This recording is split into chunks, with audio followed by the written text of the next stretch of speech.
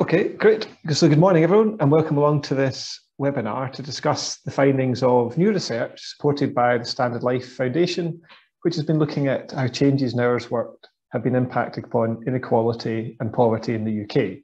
My name is Graeme Roy and I'm Dean of External Engagement in the College of Social Sciences at the University of Glasgow and part of the project team. That team included Mark Mitchell and David Eiser from the Fraser of Institute and Robert Stewart from the Scottish Centre for Employment Research, all at the University of Strathclyde. Now you'll hear from Robert and David in a moment as they'll give you an overview of the research and the key findings.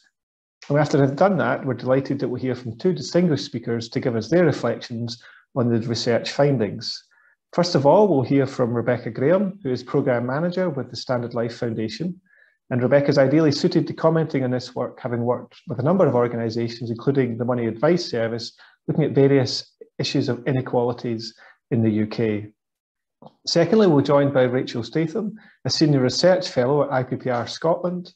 Rachel too has worked on a number of projects looking at inequalities over the years, uh, whether it be in the labour market, inclusive growth, and it'll be hugely, help, hugely informative to have Rachel's thoughts to inform the discussion that we have. We'll then open up for questions. So hopefully you'll all be familiar now with how to ask a question on Zoom. So we're using the Q&A function. So please feel free to type in your question into that and you, I'll be able to pass them on to the team. Feel free to type in questions as we go so you don't have to wait until the Q&A starts at the end. And then finally, just before we start, can I just express my thanks to the Standard Life Foundation for supporting this research and today's webinar. The foundation is an independent charitable foundation with a particular focus on, upon, upon improving financial well-being for people in low and middle incomes in the UK. And it's been an absolute pleasure to work with Rebecca and the team on this project. So a grateful thanks to the foundation. And without further ado, let's make a start. In a short time, you'll hear from Robert, who will talk about the qualitative work that's been undertaken as part of this project and the findings from the interviews he's conducted uh, but first up, I'll hand over to David Eiser, who will kick us off. Over to you, David. Uh, thanks, Graeme. Okay, I'm going to uh, just try sharing uh, my screen. We've had a little glitch with this this morning, so let's see if it now um, does work. Ah, I think it has now finally worked. Can you see my um, slides? Yes, David. Yep. Great, thanks. So um, as Graeme was saying, um, this was some research that we started uh, about 18 months ago, actually. It was slightly knocked off course by um, COVID. But our starting point really was that what we wanted to do here was to think about how um, the hours that people work influence um, inequality and poverty. Um, I think we saw this as a bit of a gap in the in the research. There's there's clearly a lot of research out there about how uh, wages and housing costs and things like that influence inequality and poverty, but perhaps not so much on the question of uh, hours worked. And clearly, uh, you do see big variation in patterns of working hours between different groups in society. And as we'll talk about today, there have been some quite substantial uh, changes in some of those patterns over time. Um, so what we wanted to do is to sort of look at some of these changes, think about what was behind some of those changes and think about some of the implications for things like well-being and job satisfaction as well as incomes and therefore in inequality and poverty. So the way we did this, um, we've done a lot of uh, pretty in-depth analysis of some major UK-wide uh, employment surveys, including the Labour Force Survey and the annual SAT Survey of Hours and Earnings, the Family Resources Survey. We've also, um, and, and Robert will talk about this later, we've also uh, spoken with employers and workers to get their take on the factors that influence uh, working hours and how those are changing. And throughout the report, what we've also done is, is um, looked at the extent to which some of these trends are reflected in comparator countries, uh, looking particularly at Germany, France, Sweden and the US. Uh, so that's the background and it's uh, research that we've done, the Fraser of Allander Institute and the Scottish Centre for Employment Research, uh, as Graeme said, funded by the Standard Life Foundation. Uh, so what's the big uh, picture? in terms of working hours, well, actually, the big picture in terms of working hours is quite different for men and for women. So we'll often discuss them separately in this presentation. Um, average hours worked by men have declined by about 6% between the late 1990s and 2009, 10 sort of time. And that's actually quite uh, a rapid change in a fairly short space of time. And it, it, represents a sort of accelerated version of a trend that's actually been going on since the mid 19th century, which is for a decline in working hours um, on, on the whole. Now, this decline in working hours is typically uh, explained in part by increases in real pay and living standards and what that does in terms of people's decisions about how much time to spend working versus doing non-work things. Uh, but changes to labour market regulations and institutions uh, have also been significant, particularly, I think, in this period from the late 1990s to uh, sort of financial crisis in 2009. What, what happened uh, in the late 1990s is introduction of working time regulation, uh, which limited working hours to 48 uh, per week. And if you look into this data in a bit more detail, you can see that this fall in average working time is uh, quite, quite substantially driven by a fall in the proportion of men working more than 48 hours a week. So indicatively, that, that suggests that the working time legislation uh, ha has uh, been part of that uh, story. Why then have, have hours worked stopped falling post the financial crisis? Well, I think the most uh, likely explanation there is stagnation in real wage growth that we saw after the financial crisis. And what that's meant is that people have uh, tried to work longer hours or, or at least have no longer wanted to work shorter hours to offset those falling real wages uh, and perhaps to signal commitment to uh, employers. Uh, female hours worked, as I say, they've been on quite a different trend. There's been a long-term upward uh, trend in average hours worked uh, by um, women. It was pretty slow, to be honest, up until 2009 10 and has accelerated a bit since then. And I think the explanations for that are similar to those that I was talking about for men. So the sort of stagnation in, in real pay um, has sort of um, increased this, this trend towards increased working hours. Uh, there are other things too, of course, in the longer term picture. Um, the sort of combination of changing social norms, um, improvements in childcare provision, uh, and shift in uh, the, the uh, sectoral mix of the economy have also contributed to this uh, trend. Of course, you can you can cut this analysis in all kinds of different ways. Um, and if you're interested in, for example, how these trends differ by age group, uh, I don't have time to look at that in this presentation, but we've got information on that in the report. Um, and you might wonder, well, how does the UK compare on some of this and some of these trends? And in terms of men, uh, the story is that UK males do work relatively long hours compared to much of continental Europe, or, or, certainly the sorts of continental European countries we would think of as more direct comparators to the UK. The reasons for that um, are historical, and I think they're more to do with um, uh, the way that trade unions, the focus of trade unions, and the way that labour market regulation working time regulation has been implemented in those countries. It's not about the way that uh, uh, the labour market is taxed that causes those differences. So if you look back, it's quite interesting to, to make these historical comparisons. If you look back to the early 1970s, working hours among men were very similar uh, in the UK, Germany, France, US. But what happened in Germany and in France is that unions had a very big influence in the 70s and 80s on the concept of um, uh, work less, work all. There was a big emphasis on trying to drive uh, working time reduction. And that was then followed through in terms of uh, stricter, if you like, uh, interpretation and implementation of working time legislation. Now, if you look at uh, women who work full time, the story there is similar to that for men. So UK full-time working women tend to work slightly longer hours than those in France, Germany and Sweden for similar um, reasons.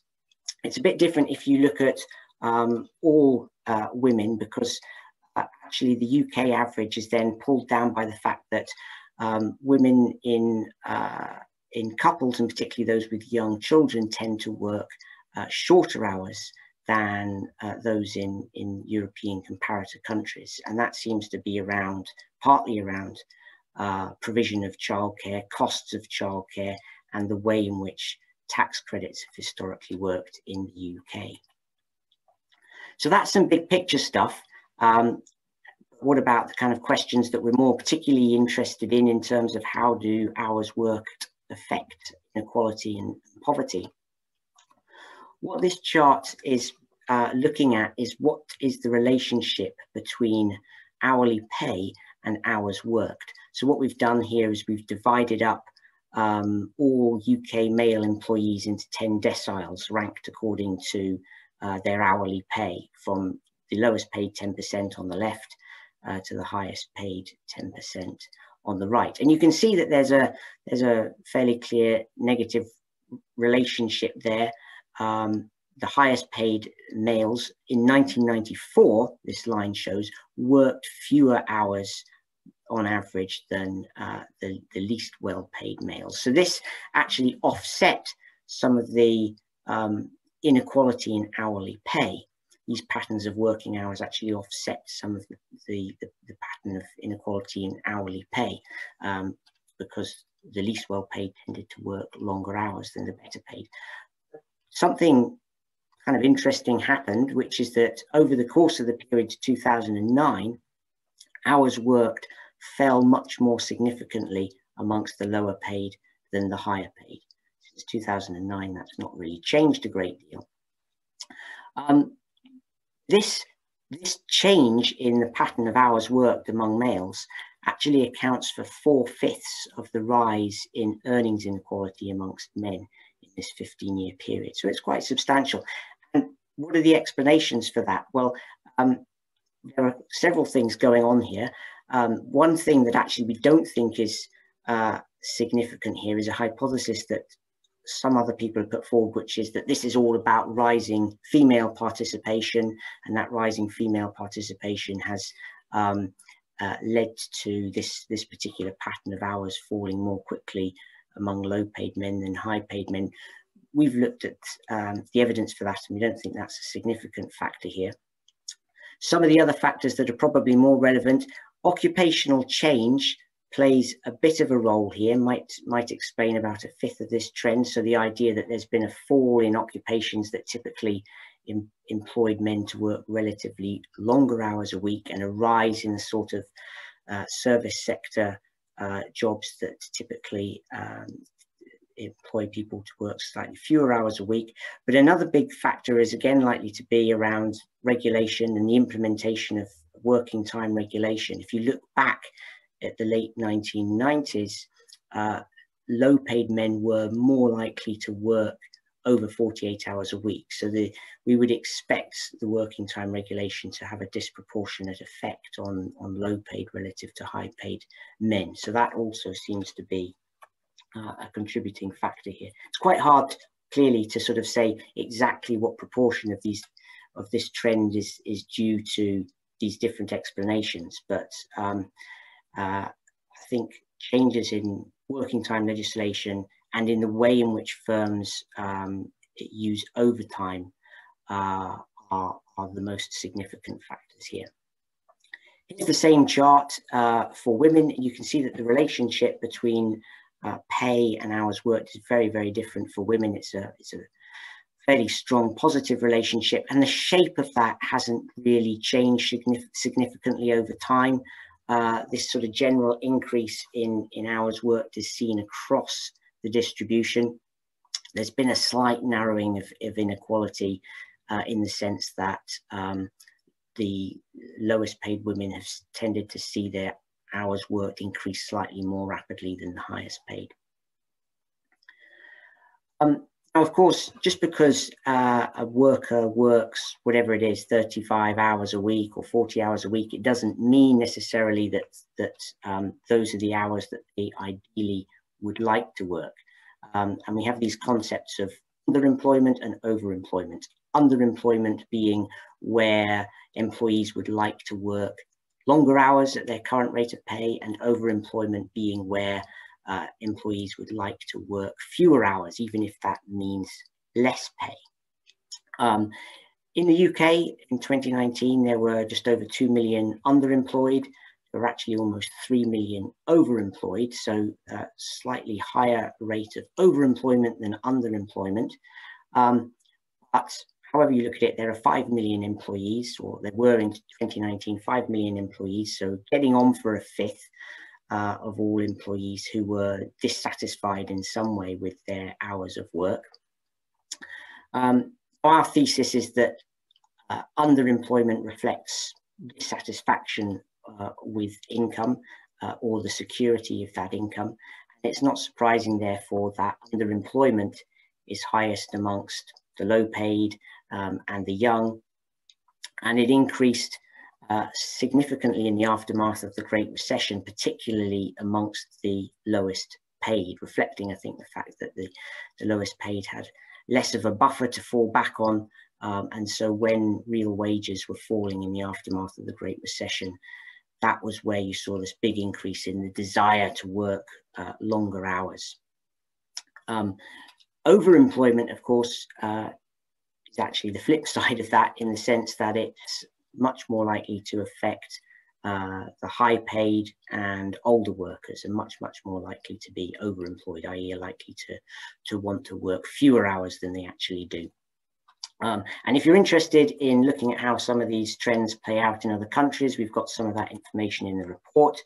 Um, and uh, I guess the takeaway is uh, the UK is not the only country by any means that has uh, an issue with underemployment. In fact, the evidence suggests that uh, France and Sweden, Sweden have, have higher rates of underemployment uh, than the UK. Underemployment seems to be correlated with unemployment across countries. So, so low unemployment and low underemployment uh, go together. Uh, and I guess that's something about the way that a tight labour market i.e. low unemployment, uh, gives workers greater uh, power, greater ability to, to, to influence their working conditions, uh, including hours worked, as well as keeping pay growth high, of course. Um, of course, it's not just hours that matter, um, the regularity and the predictability of hours from week to week matters too. That matters for household income and it matters for job satisfaction and it, and it matters for measures of well-being. And there's been a lot of debate on that in the UK in recent years, and there's certainly a perception that um, insecurity of work, insecurity of hours is increasing over time.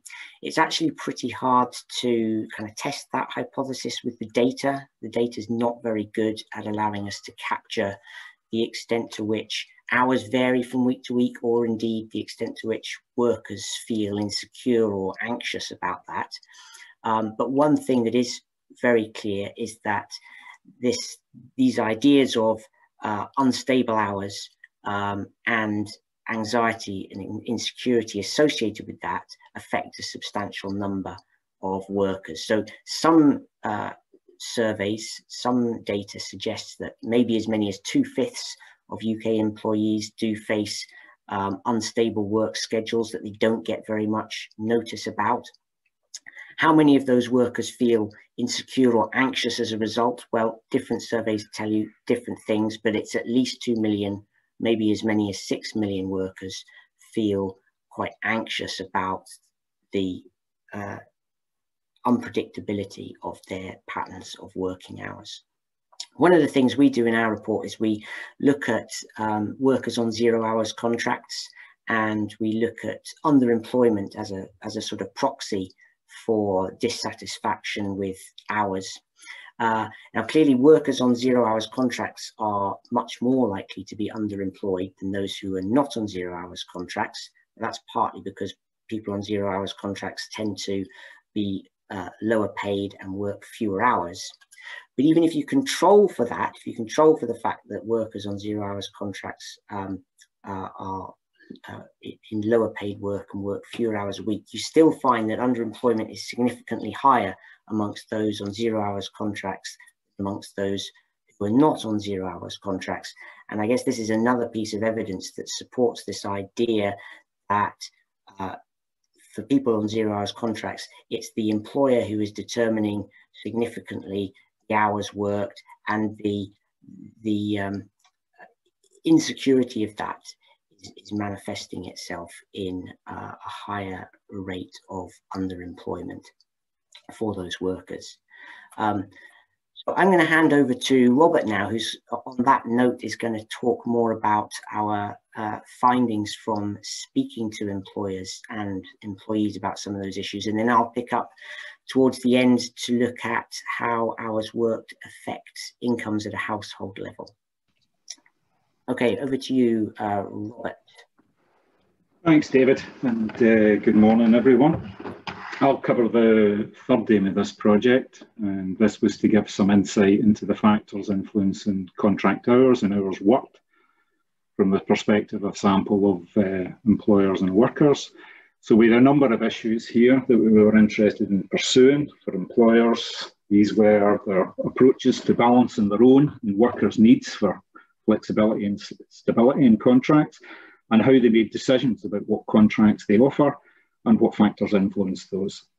For workers, we were interested in those working in atypical or non-standard forms of uh, employment contracts, for example, part-time, agency, short fixed term and zero hours, why people take on these contracts, their benefits and costs, why they want more working hours than they currently have, their constraints on hours and what they wanted in the labour market in the short-term future. So we conducted a series of telephone or digital semi-structured depths with a small sample of eight employers from across a number of sectors that we already know from the literature are strongly associated with non-standard contract types, for example, hospitality.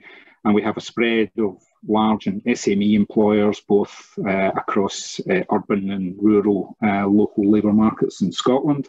And secondly, with a sample of 25 workers across, across a range of contract types who all told us that we're looking for more working hours. And in this respect, uh, we have an underemployed worker sample. And by underemployed, I mean people who wanted more hours and other definitions of uh, underemployment that touch on skill utilisation, although these factors uh, were also at play with uh, some of our participants and we achieved a worker, worker sample that was reasonably balanced in terms of its main component parts, male, female, socioeconomic group, and across age ranges and household types. I'll only make one additional comment here, which relates to the impact of COVID-19 and the challenges this posed for the fieldwork, particularly in the area of recruitment. Very difficult to get employers interested uh, on board with uh, research in a pandemic. They were already dealing with uh, more pressing workforce issues, sector uncertainties, and restructuring some of their working practices, which leads me in, I think, into I think the broader issue. That's uh, some of the output of the results of this part of the work is shaped by and needs to be placed in the context of some of the unique labour market pressures of 2020 and early 21 so, for example, in our worker sample, we have a quarter of people made redundant from full-time permanent uh, jobs during early 2020, as well as people who had been or were furloughed over the course of the pandemic.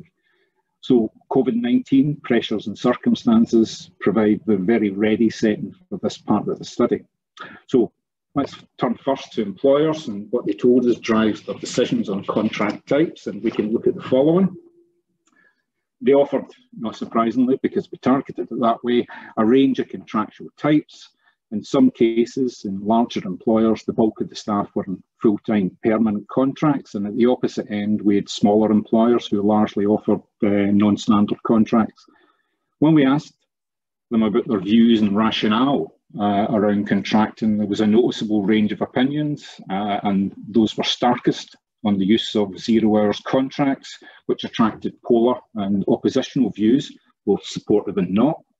But across the board, Non-standard contracts are rationalised on the basis of the varying demands uh, for business, business services and offering flexibility for employees, i.e. varied employee working hours and, and uh, shifts. Not a great surprise. Service sector employers offered varied shift, shift patterns that were geared to fluctuating demands in their services and needed staff to fill these slots. Flexibility was a big selling point for them. For employers, Flexibility offered workers the chance to access hours that were more suitable for them. For example, you know, it's, it's the obvious suspects, people with uh, domestic childcare and caring commitments and students in further and higher education. And as I just said, there were some contrasting views on zero hours contracts. Some told us they avoided these types for a variety of reasons. Firstly, because of their poor press and to avoid any reputational damage uh, and secondly, because of a perceived conflict with our stated organisational values and ethos. So, for some employers who wanted to be seen as worker friendly and who took this to mean that they wanted to offer greater security, they avoided this contractual route. On the other hand, employers who use zero hours contracts told us they did so as a function of their varying service demands and flexibility but also because they simply could not afford to run or operate the service at its present levels without reduced staff costs. From the interviews, it was clear, and this is reflected in some of the issues picked up in the wider literature, that there were a number of important influences on non-standard contracting. The first issue really concerns the business model being used, which shapes recruitment and workforce planning and across the board, all of the employers we spoke to put a strong emphasis on having the right people with the right skills and attitude, irrespective of contract. And here, non standard contracts were essential for businesses who used temporary, for example, replaceable workforces to service peak service demands, and or because the business model is based on a minimal or uh, the less use of more costly, longer hour permanent staff. Other important factors here are having voice mechanisms. All of the employers told us they listened to their staff and tried to accommodate demands for more hours where these arose. Uh, and finally, let's give some place uh, to the importance of local labour markets in shaping staff contracts.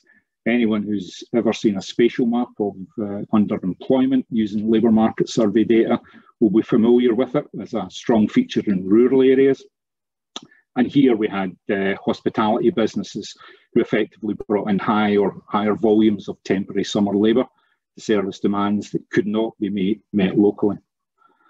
Turning to workers, one of the interesting issues here, uh, I think, is whether uh, employer views on flexibility are mainly one-sided or whether this chimes with uh, workers' descriptions about the benefits of non-standard uh, contracts and flexibility, as it turns out, did have some legs for many of our uh, participants because it was identified as the main benefit of these types of contracts. Perhaps not surprising because it underlies some uh, well-travelled working pathways for some types and groups of respondents. So flexibilities were seen to be very strong in uh, females working part-time balancing domestic childcare and caring commitments, or those living independently in single-parent households with dependent children, strong in younger age groups and uh, further in higher education, who were mainly living at home, and also evident in mid-career respondents made redundant during the pandemic and those who, because of the pandemic, couldn't access their normal lines of work. So as well as providing income, non-standard contracts provide provide uh, flexibility benefits. But there are, of course, as we know, other sides to this. Uh, and we saw in the statistical analysis that non-standard employment may be more likely to expose workers to a greater degree of insecurity. And turning to the downsides, that's it. While flexibility may have been the main worker benefit, the main downside was their weaker employment security stroke stability, the uncertainty about what hours they, be, they may be working short term, which feeds into concerns about levels of personal income and household income, wider household planning and making ends meet. So short-term agency workers expressed concern about where the next contract was coming from or whether, whether they would be kept on. Longer fixed term contract workers were concerned about what was coming at the end of the contract. And of course, zero hours workers, we're thinking about what hours would be coming the next week or the next month. It was also very evident uh, in the interviews that people's views on insecurity were more strongly expressed by those in older age groups with more financial commitments and dependencies. So younger participants could talk about insecurity very well, but without outlining tangible consequences beyond a general feeling of uncertainty and the ability to plan ahead. Conversely, older respondents took these issues much deeper and further and expressed worries about the potential impacts on uh, household planning and spend. Perhaps not surprisingly, given the contractual status of people. Most felt they had uh, very little control over their working hours, and many also reported drops in their financial income over the course of the pandemic because of redundancy, because of furlough and social distancing measures at work, both of which uh, reduced their working hours. And we know uh, also there's a wider debate with some forms of uh, non-standard contracts. Uh, I'm thinking principally zero hours and accounts of financial hardship However, none of our participants uh, reported levels of uh, individual or household difficulties, things like personal debt, missing utility bills or mortgage uh, repayments. And of course, here, uh, welfare was an important support for the household incomes of around a third of the respondents, supporting household and childcare costs. And while some could tell us about other people who worked on zero hours contracts who were experiencing financial hardship, it didn't apply to them at the time of the interview. Why? Uh, well, two important moderating, moderating influences perhaps explain this. The first I've already touched on is welfare, but the second is, or seemed to be, the presence of a partner in full-time employment. For example, all of those were made redundant during the pandemic highlighted this issue as their safety net, as did those working part-time in households with dependent children. So these workers as a whole, I think, balance flexibility with insecurity and their concerns about income.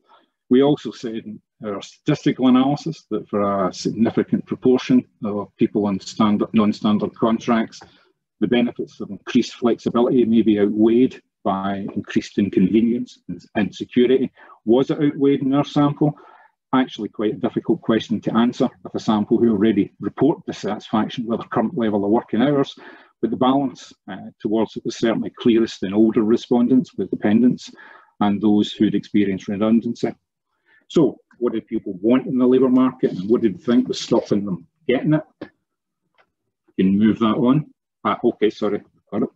Well, many of the people we interviewed ultimately wanted full-time, stable and predictable employment patterns. Most spoke uh, of wanting more hours, not just in the context of wanting more money, but the context uh, of a desire for full-time and more contractually secure permanent employment and more stable guaranteed hours. So what did they see as the main barriers to achieving that?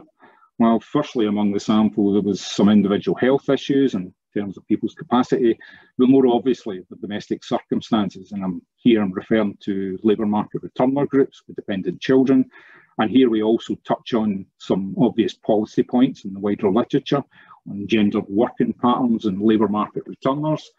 Uh, should should uh, be clear to note that in, certainly in our sample, these were all largely female respondents with a desire for more working hours with their dependencies diminished over time. There were also a number, number of other issues mentioned by people. Firstly, these concern the number of hours that employers made available. One issue raised by some employers uh, around the topic of flexibility concerned workers' opportunities to take up additional contract hours with other employers if they were short with them.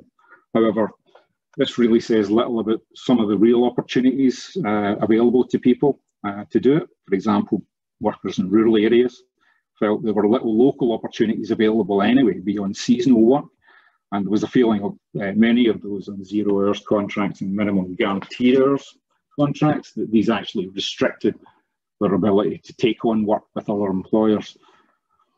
Finally, let me throw in the feeling that because of the pandemic, there were less full-time jobs available in local labour markets. I don't know how many employers shrunk their normal recruitment activities during the pandemic, but there were, there are, and there are a number of reports of that.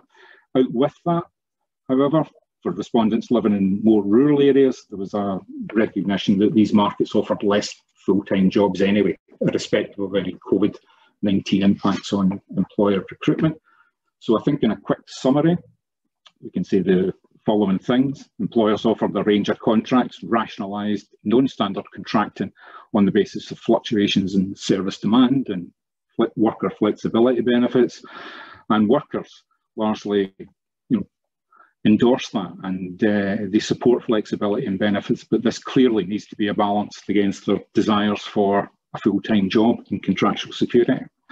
While our participants possess all or some of the part-time and temporary contractual features associated with the heightened risk of in-work poverty, factors such as household composition, particularly the presence of a working partner and welfare support helped offset financial concerns.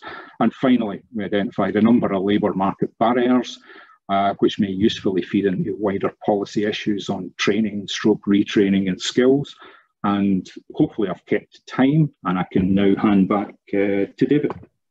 Thank you. Thanks, Robert. Um, so we're, we are running a bit behind. I'll try and um, uh, be as brief as I can on the last couple of uh, slides. Um, so up until now, uh, a lot of what uh, we've been talking about is uh, how hours work vary across individuals. Um, but it's important to think about how they vary across households too. Um, what this chart does is it breaks up all the households in the UK into the 10 deciles ranked by income. So we've got the poorest 10% of households on the left and the uh, highest income 10% of households on the right. And then the bars look at average hours worked by the main earner and any subsequent earners if there are any in those households. And you can see there's actually a fairly strong uh, gradient uh, there between uh, in, in terms of the increase in average hours worked as you as you move across the distribution. Um, that that that gradient is actually quite a bit steeper in the UK than it is in uh, in many other European countries. So you might conclude from that that hours worked um, are you know very important in determining whereabouts in the income distribution a household sits. Um, there is a very big caveat to that though, which is that if you look underneath this, uh, the, underneath these averages, you see that there's a huge amount of variation in the hours worked um, by people in, in different households. So for example, lots of people in high income households actually working relatively fewer hours and a lot of people in uh, relatively poor households working really quite uh, long hours. And so uh, in actual fact, I think what this average, there's a risk here in looking too much at these averages and thinking that that means that hours worked are very strongly influential on where in the household income distribution uh, a household sits. And that's a bit of a mistake. Um, hours clearly do matter, um, but in fact, in many cases, working longer hours is not going to make a very substantial difference to household income and other factors like clearly hourly wage, but also the composition of the household are really quite important in determining where in the income distribution it sits. And it's certainly not the case that uh, working more hours uh, is, is often going to be a route out of poverty for those households who are, for workers who are in poverty. So in terms of uh, implications for poverty, uh, for policy, um, clearly I haven't talked about COVID very much at all. Robert did. Our, our report was conceived in a pre-COVID world, and we wanted really to look at some of the longer term trends. Obviously, COVID has turned the labour market upside down. Um, but this report is is not about looking at what's happened in the last 12 months in a lot of detail. There are some great reports that do that, and we're certainly not uh, in this report sort of getting the crystal ball out and thinking about the extent to which some of those trends in the last 12 months will, will persist even once uh, restrictions are removed. But what we've tried to do um, is uh, think about policy, policy implications um, that uh, are likely to apply in, in the post-COVID world. And I think there's a strong case for saying that many of the trends that have happened in the last 12 months uh, have sort of accelerated uh, some of the trends we, we've been looking at over the last, over the previous uh, 20 years or so anyway. Um, so implications for policy, um, we, we, drew, we draw out quite a few in the report. Um, and I'll try not to dwell too long on any of these just now, but I think there are uh, what you might call macroeconomic priorities. So there's a clear implication coming out of the, this on the need for policymakers to focus on getting productivity growth going, keeping unemployment low. Why? Because these are things that keep wage growth up and that and the additional uh, power that that gives uh, employees to uh, determine and control their um, uh, uh, working environment, including hours, is really quite significant. But there are more direct interventions that policymakers should be and are uh, looking at and thinking about, particularly in terms of things that will improve workers' control over hours, picking up on that point that Robert um, was making. So uh, things here around um, more notice about changes in hours, uh, potentially compensation for last minute changes to schedules are all really important things that we should be looking at. Now, the disappointing thing here from a policy perspective is that uh, in 2019, the UK government said it was going to bring forward an employment bill to look at some of these things. That kind of got uh, knocked off course by COVID, and it doesn't yet seem to have back uh, onto the government's agenda. Uh, it didn't appear in the latest Queen's speech, uh, which is certainly very disappointing. Um, there are things here around reinvigorating collective bargaining. I think one of the things when you look at what's happening and has happened in other countries, you're struck by the role that collective bargaining plays in determining working conditions in other European countries and the way in which the UK would do things on a very individualized basis. Um, and in fact, organizations like the OECD are strongly behind this idea as well. But of course, it's one of those things that's much easier to say uh, sitting here than it is to do in practice, getting that infrastructure uh, and, and those um, uh, working practices embedded is going to be really quite challenging. But I think we would support the arguments that have been made by various others, including people like the Resolution Foundation, that you know there's a case here for at least experimenting in some of the sectors where uh, it's likely to be most possible and the benefits are likely to be greatest, like in social care, for example. We've got some recommendations in there about um, the safety net. That might seem a funny thing to have in a presentation about working hours, but what comes out quite clearly in the report is that insecurity isn't just about the job, it's about workers' uh, uh, awareness of what might happen if they were to lose their job or if their hours and income were to change. Um, and that's where the UK safety net uh, is really a bit weak in comparison to uh, many European comparators. Um, and finally, I mean, there's a, there's a final point here, which is really about uh, the fact that, you know, there's quite a bit of research out there that says, well, um, when governments do things like increase the minimum wage, uh, that's all very well, but we can link that quite clearly with accelerated use of things like zero hours contracts. And that's one of the ways that employers respond to increases in the minimum wage. So there's two um, interpretations of that. One is to say, well, governments should be very wary about increasing the minimum wage.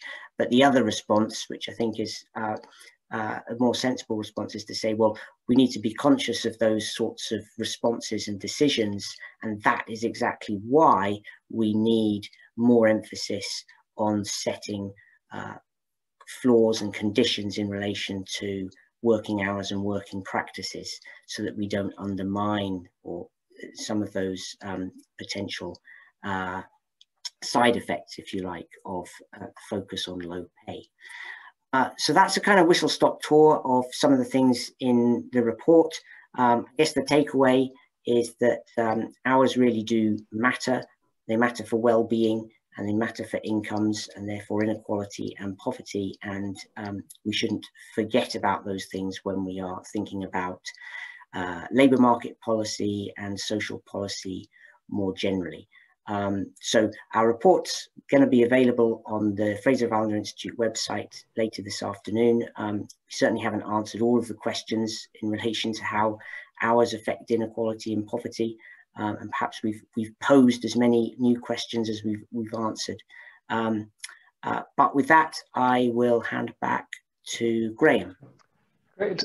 Um, thank you very much, David. So um, yeah, so a good overview of the the report, and uh, hopefully we've uh, started to kick off some questions that people will come as we go through it. But before we get to that, uh, as I mentioned, delighted to to get uh, welcome Rebecca and Rachel to get their reflections on the findings so far. So Rebecca, if I could come to you first, and then uh, we'll get Rachel next. Rebecca, over to you.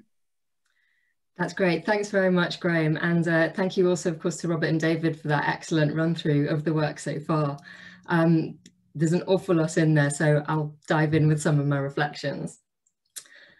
Uh, I think one of the things that simply stood out to me from the report, from the findings, was that underemployment has risen even where the number of hours worked has remained unchanged. Um, and of course, while not all of those people who are underemployed, who are looking for more hours of work, um, are in poverty, this picture does seem to tie in with all of the figures from recent years we've outlined, indicating the rise in in-work poverty, which is something that I'm sure we're all very concerned about. Um, similarly, the finding that amongst lone parents who are in employment, those who are living in poverty working the same number of hours on average as those who are not in poverty, and again, when we look at the European comparative data, it seems that uh, in the UK, it's less likely that you can live above the poverty line in anything less than full-time working hours. So essentially, I'm getting a picture that for many, hourly pay simply isn't enough and the welfare benefits received aren't enough. And this is something that needs serious action. And uh, I think perhaps Rachel will talk a bit more about that when we get to her. Um, a point on uneven and unpaid workloads. Uh, given the huge amount of research that has emerged in light of the pandemic, it really struck me that the halt in decline in working hours for men and the, the increase in working hours for women uh, could have serious implications for things like childcare. And um, as David mentioned, you know, improvements in childcare provision are, are, mentioned as a possible reason behind some of these trends. Uh, I think uh, in some individual cases, people would, would certainly question this, given the, uh, given, uh, for example, the costs associated with childcare. And um, of course, the picture will have changed given the massive disruption to the childcare sector in light of the pandemic. Um, looking at the, the big picture that David mentioned, the, the number of paid hours worked by men and women seems to have been gradually coming closer together. Um, but there can still, of course, be a gap in other areas of work, um, unpaid work.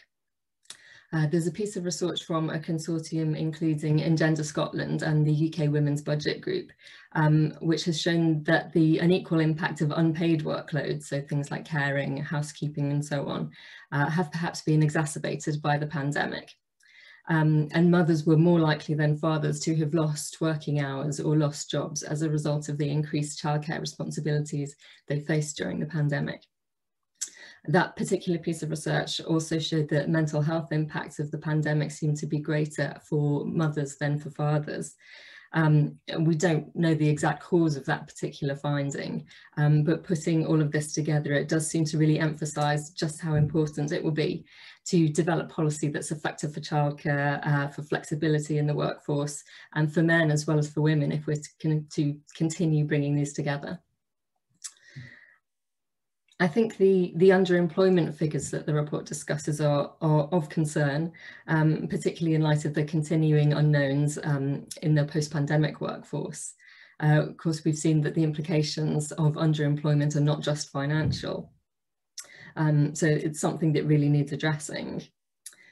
Um, the report showed that the, the underemployment rates are slightly higher, again, for women than for men. And in, a, in another piece of work funded by Standard Life Foundation, the single parent charity Gingerbread made recommendations uh, regarding the need for greater flexibility in the workforce for single parents.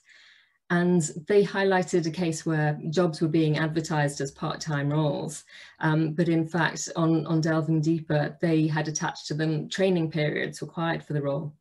And these training periods are only, only available as uh, on a full, so they're actually completely unsuitable for the precisely the sorts of people that the jobs are being advertised for. And situations such as this that can lead to people taking jobs that just aren't appropriate for them, whether that's in terms of their experience, their qualifications, or their desired hours that they work, um, have got to be really carefully looked at. And people shouldn't have to resort to contract types that make their work feel precarious either. So I think, you know, the, the focus on getting people back into work is of course a must, but there must also be more than that. The types of work available have got to be better than they were before. Um, I think this is the sort of situation that perhaps some of the, the interviews that Robert was discussing were highlighting. I found the point about the uh, the four day working week concept really interesting. I think it, it does come with a certain degree of challenge. Uh, you know, will it mean people doing the same amount of work for less pay? That's always a worry. Um, I do note the point about the four day working week um, sort of phrase being used as a shorthand for a 30 hour working week, as opposed to something longer like a 37 or perhaps a 35 hour working week. Um, though I'm sure we all know of cases or perhaps have even been in the situation ourselves where part-time working is really the exact same workload but crammed into fewer, um, sometimes more stressful and often much, much longer days. Um, so as David was talking about the end there, uh, you know, work, workplace controls and so on, it, it really does require strengthening of controls and monitoring in the workplace. And I think this is something that it might be quite difficult for legislation around this to be put into meaningful practice. Um, the recommendations also made a very good point about the need for sectors like social care to be properly funded, which I'm sure is something we would all agree with. Um, again, here, I think it's not just the money, a conditions floor is going to be very important here um, to make sure, for example, that workers aren't just being paid for time spent with care recipients, um, whilst essentially funding their own travel and so on. Uh, we know that this can be a particular problem in rural and remote regions, but it does apply everywhere um, I realise we've talked about some of the concerns and things that have emerged from the report, but I think it's important to talk about some of the positives as well, um, such that, uh, you know, uh, the improvements in work-life balance that seem to have taken place uh, from the reduction in men's working hours. And I think we really need to try and use this perhaps slightly perverse opportunity of the pandemic to keep making improvements, but keep making them for everyone. Um, overall, I'd say the, the piece of research has been really useful for me in emphasizing that um, perhaps simple but crucial point that inequality in weekly earnings isn't just influenced by hourly pay or the number of hours worked, but by the correlation between those two. Um, but given this, I wondered if perhaps we should have less of a focus in our sort of research and policy discussions on hourly pay and perhaps we should be talking more about weekly or, or monthly pay or something that is more likely to take into account number of hours worked or the um, uh, you know, the fluctuation in hours worked. Um, so the, I guess there's a bit of a challenge there in terms of what statistics we should really be focusing on, uh, perhaps especially for those of us who aren't deeply immersed in all of the data uh, day to day. Um, and which areas of employment related policy do we think would be most likely to gain traction for change uh, if we ever do get to see an employment bill? Um, and where, what, what particular areas would you like to see more work focused on? Um, I appreciate, of course, these will be questions that lots of the people here will be very, very much occupied with already. So very interested to hear further comments and questions. I think there's an awful lot more that we can say, but in light of time, I will leave it there and hand back to Graeme. Thank you very much for all of the work. Great, thank you, uh, Rebecca. Yeah, lots of stuff that we can pick up on um, later on. Uh, Rachel, over to you for your reflections. Um, I'll just share my screen. Um, and conscious of time, I'll try and keep it brief. Um, so I want to just reflect on um, the kind of wider policy implications I know we've touched on um, from the research. And I should start obviously by saying um, I think it's really excellent and informative piece of research, um, both uh, for policymakers in Scotland, just as I know that uh, that's where most of us are sat um, having this conversation, obviously at the UK level as well. Um, and I suppose uh, one of the major thoughts I had kind of reading through the report's main findings um, is this kind of longer term shift we've seen um, where for low income households, we used to have a challenge of kind of overly long working hours um, and through, you know, across the, I suppose the, the convention national picture shows us that worker organising, you know, reductions in kind of standard working uh, working weeks um, have begun to uh, to kind of uh, mitigate that problem. And now we have a new, you know, a kind of new or a newly exacerbated challenge, at least from too few working hours um, concentrated in uh, low earning households. Um, and I absolutely agree with the assessment that that means that we need to be having a new type of conversation about how we measure um, not just uh, you know pay in terms of uh, hourly earnings rates, um, but how we uh, look across uh, you know kind of a financial security picture that looks at hours, looks at pay, um, and also potentially looks at the kind of costs incurred through uh, through work, you know, or relating to work, whether that's childcare, transport, um, or kind of wider set of cost factors. Um, but we have, uh, I think, a new kind of financial or a kind of a wider security deficit that um, I think is a really important challenge when we're thinking about the UK labour market, uh, you know, that relates to the rise of low pay, to the rise of in-work poverty that, that we've uh, discussed already, um, but also that kind of wider and kind of, you know, potentially more more nebulous but really important economic insecurity uh, that means that too many people who are in work uh, and trying to get on in work um, you know, are going without the basics they need to, you know, to have a to have a good life, to have a decent standard of living. Um, and there's obviously a wide range of social, you know, kind of societal implications that come from that as well, particularly when we're thinking about questions of poverty and inequality. Um, I thought I touched briefly on, on the Scottish uh, context, the policy context, in terms of how um, policymakers here have been trying to respond to some of these challenges. And I suppose we've seen uh, on kind of one end of the um, of the labour market spectrum, um, we've seen uh, the Fair Work agenda over the, the course of the last Parliament, um, a focus on security alongside respect, voice, uh, opportunity fulfilment. Um, you know, new questions about public sector procurement and how it can kind of push up uh, standards of employment. Um, and that conversation has been very focused on the real living wage, particularly. Um, but I think uh, this work, uh, you know, and other work across Scotland has shown um, the need to kind of have an expanded conversation going into that next term about uh, about how to push on a, an agenda that that you know delivers, make sure that work delivers financial security for more families in Scotland. Um, but we also have uh, kind of new uh, new horizons in terms of um, uh, talk of uh, a wellbeing economy, those ambitions that the Scottish Government has begun to lay out, um, and shorter working time apparently being part of that picture, being kind of framed as, as something that uh, is a kind of clear uh, wellbeing economy agenda and that it brings together, you know, a kind of labour market shift um, and, you know, and policy changes that could really support greater wellbeing. Um, although I think as we've already touched upon, there's really major challenges about how we might get there, uh, what that looks like in practice. Um, so far we've seen, you know, support announced for kind of workplace trials, um, but on a fairly small scale, um, and there's lots of challenges uh, that we can discuss hopefully um, about uh, about how we actually begin to see that in practice, and then also who might benefit from it.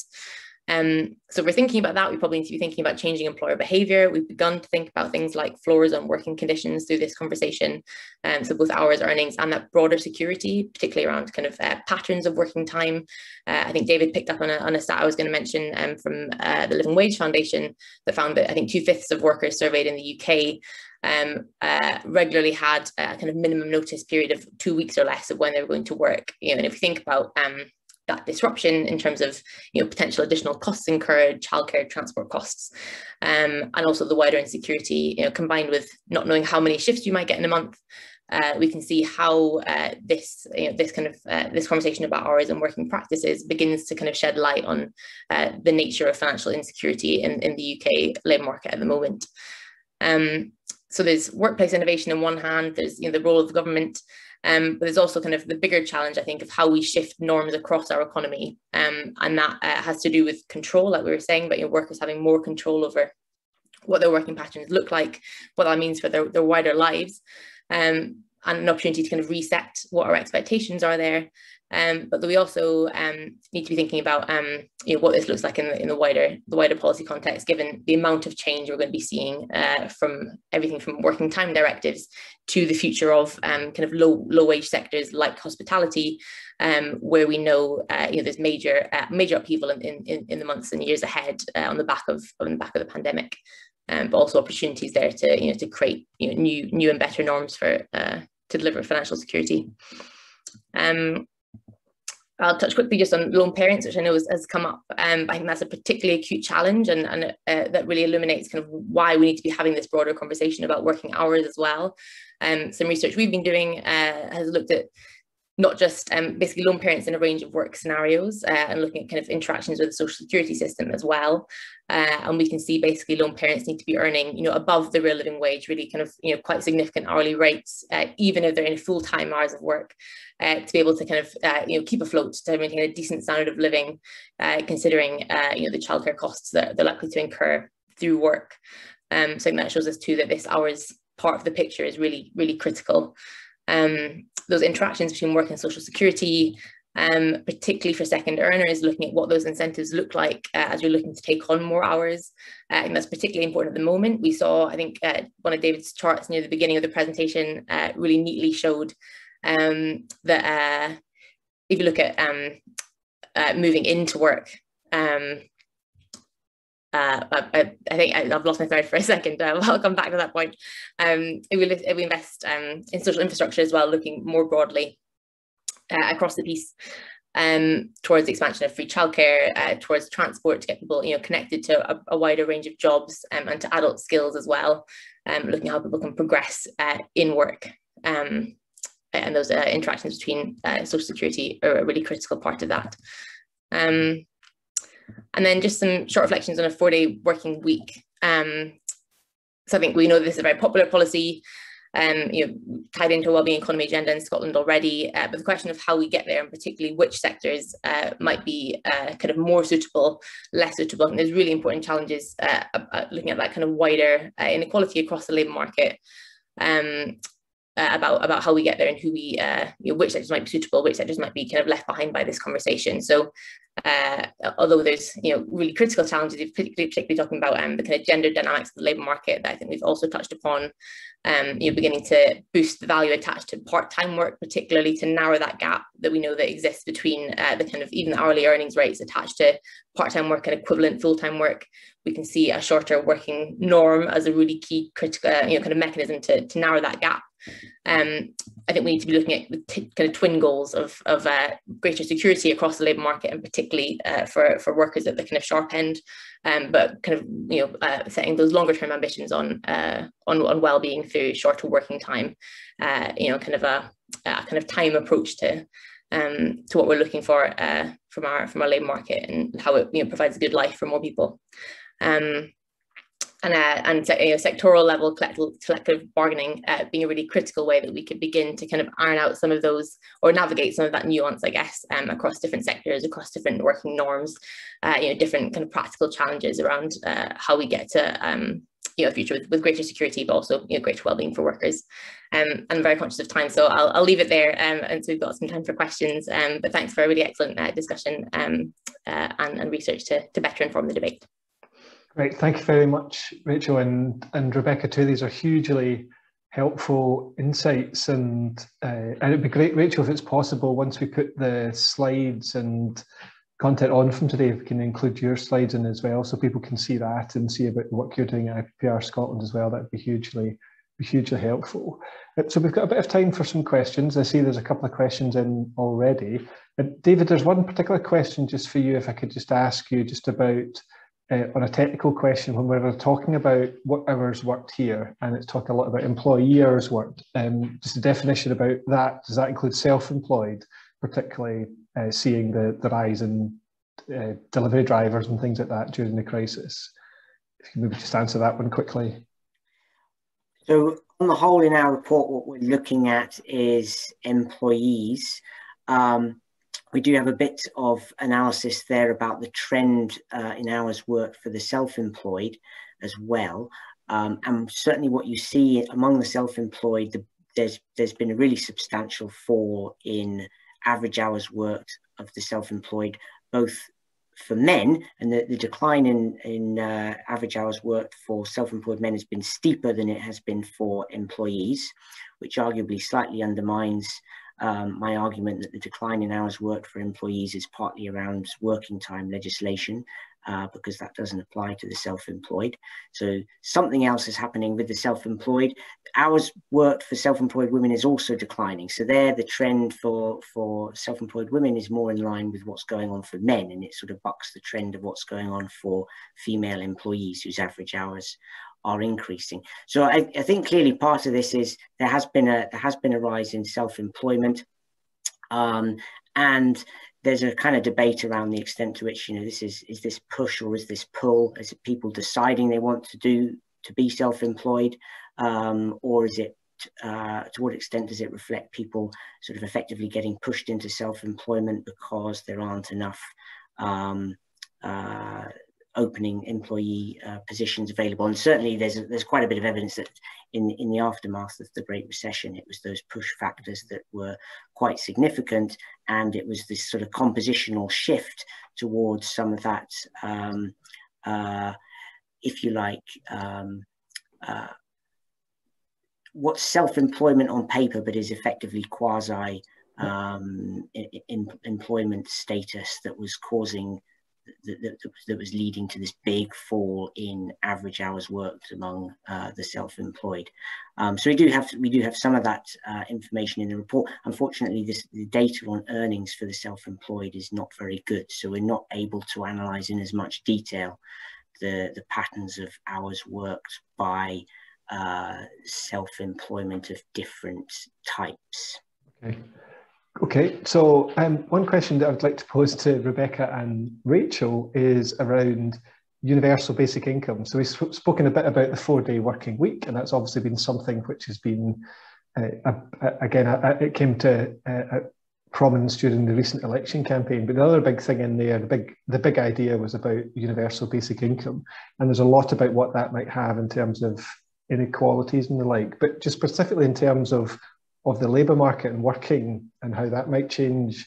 Um, what are your what are you see as the potential opportunities and challenges? So maybe if I could come to you first, Rachel, and then and then you, Rebecca.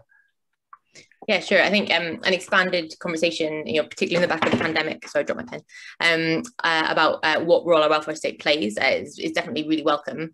Um, to me, I think the, the UBI debate um, obviously raises uh, a lot of questions that I think there's, you know, a huge range of different views on and that definitely warrant more explanation around work incentives, um, around things like uh, the unpaid uh, work, you know, that, that we all rely on, that we know is very, you know, very gendered in its distribution, um, about what it would mean uh, for uh, for work incentives, particularly for second earners, um, and obviously that would rely.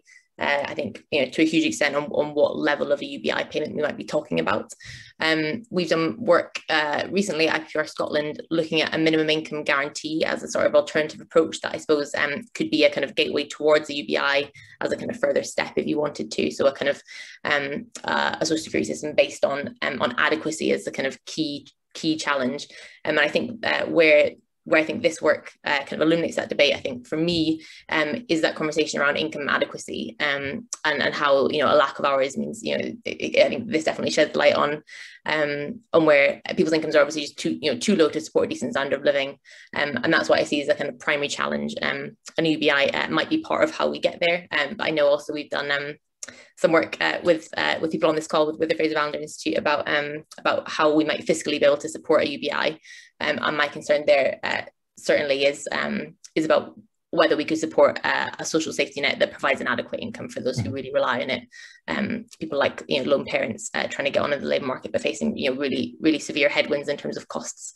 Um, so those are the kind of challenges that I'd be looking great. for. Okay, great. And and, and Rebecca.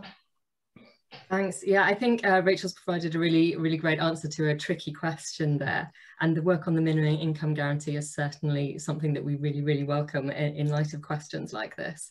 Um, so to take a slightly different approach, I think the uh, the implications um, of universal universal basic income will certainly depend on how it's implemented. I know there are various different conversations around this at the moment, um, but my hope that it would be that it would go beyond um, income and, and sort of uh, workforce regulation and so on, and where we get to see the benefits in things like mental health, improvements for the health service, um, and the sorts of slack that they're picking up um, through other perhaps deficiencies that, deficiencies that we have in our welfare support that's available at the moment. Yeah, that's a it's a really insightful comment, and I think that's the thing. It's defining what do we want to achieve from changing uh, the structure of society and the rewards to work, but also what we want to just have as a as a core basic underpinning about uh, about income levels across and all the various implications that has for health, well-being, and and sustainability more broadly. I'm conscious of time and that we've come to the end of of the session today. As David said, the report will be going live on the Fraser of Allander website in the next couple of hours, and you can take a look at the report there. If you get any questions, and pose it to the team uh, through the usual channels uh, with the Fraser. Uh, can I, I guess the final thing for me to, to do today is really just thank, first of all, Standard Life Foundation for their support for this research and this uh, the project that we've undertaken. And just also to thank Rebecca, Rachel, Robert and David for joining me on this session today and for the hugely informative session uh, that we've had. So um, last thing for me to do is to wish you uh, the best of the rest of the day and bye for now.